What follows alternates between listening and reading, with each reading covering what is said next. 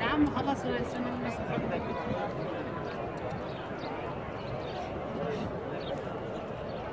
كفارة ولا هتعملها